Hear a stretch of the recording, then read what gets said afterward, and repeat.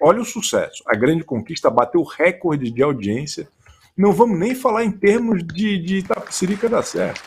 É em toda a região sudeste, praticamente. São Paulo e Rio de Janeiro. É, não é toda, né? É metade. A atração registrou 4,6 pontos de média e pico de 6,4. E é um share de 9,9. Ou seja, o que, que, quer dizer esse share?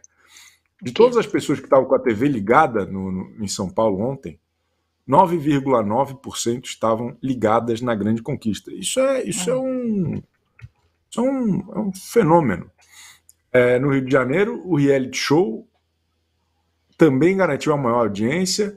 Olha só, média de 6,4. Só tu não estava assistindo essa porra, o, Só eu, Yas. desculpa, eu estava assistindo o Dorama.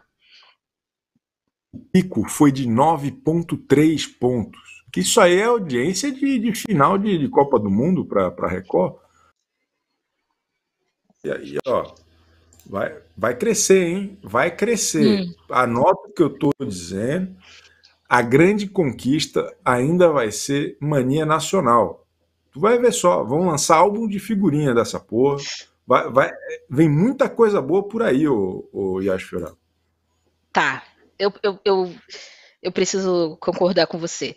E vou falar aqui, hein? O mérito é daquele jogo lá de mostrar o vídeo sem explicação nenhuma.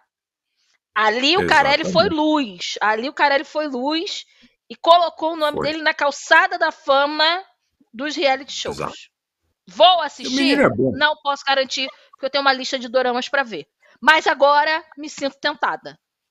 Boa. Agora eu acho Vem. que encontrei meu lugar. Vem aí. Vem. Vem aí. Vem que vai ser top, porra. Ó, tem que ter mais vídeo revelador, a Mariana R tá falando. Isso aí. É... A, a Tânia Raquel. CB, fala de coisas que eu conheço e tenho 68 anos. Quantos anos você tem, CB? E, o, e, a Jane Moreira falou: gosto muito do Barney e da Yas, mas não fala de conquista. Ah, tá bom.